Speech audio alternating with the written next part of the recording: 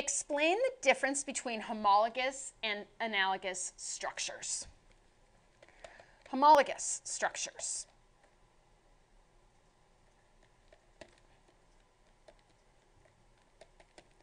These are similar structures.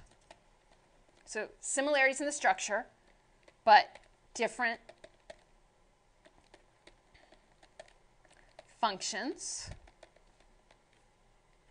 And this is due to descent or evolution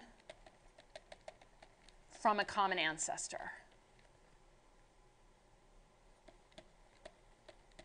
And the example I gave was the flipper of a whale, the wing of a bat, human arm, dog leg.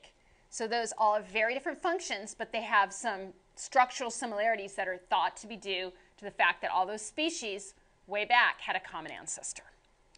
Analogous structures. Analogous structure, similar structure for homologous. So analogous structure, we have different underlying structure. but the same or similar function. And they evolved separately. They evolved independently.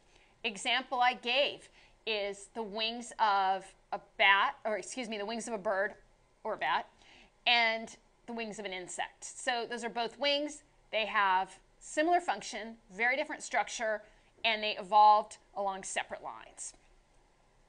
So homologous versus analogous structures. So that concludes this lecture on natural selection. Thanks for visiting Educator.